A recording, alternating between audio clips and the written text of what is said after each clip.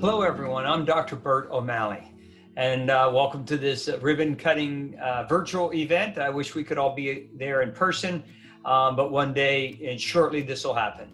Um, as some of you know, I was chief of ENT of the department at that time, a division of otorhinolaryngology head and neck surgery over 20 years ago. I actually came to Maryland in 1999 as the chief and left in 2003.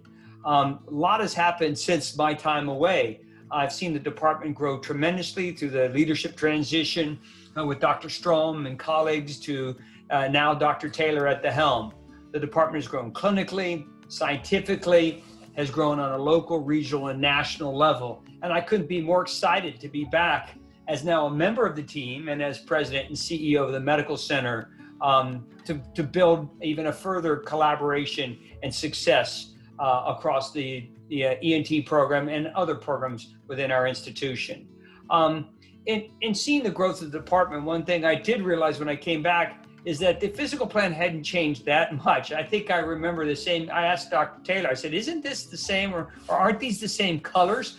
That, that uh, were uh, in the clinic and on the paint on the walls 20 years ago and well kept up nicely it, it, there were some uh, need for updating clearly, and Dr. Uh, Taylor corroborated that finding. So I think, and we all felt Dr. Taylor leading the way with his team, um, that the clinic needed an update. The patient care facilities needed to be at the level of the success of the department and the services being provided, and it was time for an update. So I'm very excited that this renovation occurred and bring in new state-of-the-art facilities uh, to build upon the state of the art program in ENT that exists. So I'm, I'm, excited to be part of this. I'm excited to see this uh, growth in the department and also now to introduce Dr. Taylor. Uh, Dr. Taylor is our professor and chair um, and someone, I think he came in 2001 as my third hire when I was chief, but I'll let Dr. Taylor and Dr. Um, Wolf duke it out a bit to figure out who actually was the third hire. Uh, but regardless, the great team we had then and now the even greater team that's been recruited and the leadership uh, complement that exists in the department has brought this this entire program to a whole nother level. So Dr. Taylor, Harvard Medical School grad, Michigan residency and fellowship, and an MPH as well over the time. Um, it's great to have you at the helm. I'm happy that you are my chair, and uh, I look forward to uh, your, your, comments uh, to follow here. So thank you, everyone. Uh, here's to Dr. Uh, Taylor for his comments. I'm very excited to welcome you to the otorhinolaryngology new renovated clinical space. And I'm excited for a number of reasons. This has been a core example how a department in our hospital can come together really for the purpose of providing service to our patients. And we're pleased to see over 15,000 patients on an annual basis. The thing that has me most excited is that this new renovated space allows us to provide a service for our patients in a way that is enhanced and will improve the patient experience in a way we were not able to before. Moreover, it'll give our providers an additional improved quality of life to be able to do the services that we've come here to do, and that is to take care of patients. Before, we were able to see patients in six clinical rooms. We've been able to add an additional seven and improve other areas that provide better patient safety and privacy, and better and faster care. So we're hopeful that our patients who come to the University of Maryland to have an experience for whatever their clinical need is around otolaryngology will not only have the very best quality of service that we've always provided, but that their experience and their journey through our organization will be of the finest quality that they can have and in a way that we have not been able to provide before.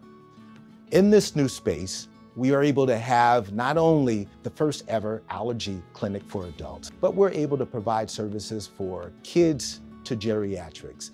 We're also pleased that we've had the generous donation of a family that's near and dear to our department, the Kleiman family, dedicate the waiting room in our new renovated space. We couldn't be more excited to have patients to continue to flow into our building and get the care that they need in a way that is going to be in a state-of-the-art space that they can enjoy the care that they get. And so welcome, come one, come all. Thank you very much.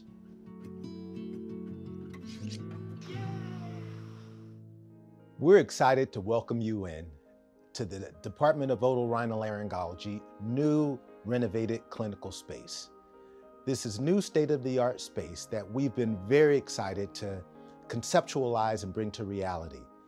What it will do is it'll allow us to not only see patients uh, with decreased waiting times, but we'll be able to make sure that the patient's journey and experience when they come to see the physician is better. And I'd like to show you the space. We've been very thankful to have the generosity of the Kleiman family to actually dedicate the waiting room in this new clinical space. And their generous gift will not only allow us to see this project through, but it will also help with new state-of-the-art equipment that is needed as we continue to provide care and new technologies become available. The room that we're gonna see at this time actually is designed to be able to tolerate a patient who might not be ambulatory, who might need to be on a stretcher, and they still need acute and important otolaryngology care. And the kinds of procedures and patients that we'll see in this room include patients with diseases of the sinuses, pediatric ear, nose, and throat conditions, as well as otology, which is really the care of specifically hearing diseases and related issues. And with the microscopes that we have, we're able to have the ability to do procedures that often would need to be done in the operating room. And we'll be able to facilitate that same kind of care right here, again, in a patient-centered way. Additionally, we have mobile units in the space that allow us to do endoscopy, minimally invasive diagnostics, and the other important uh, procedures that allow patients to be able to have enhanced uh, quality of life from an ear, nose, and throat standpoint.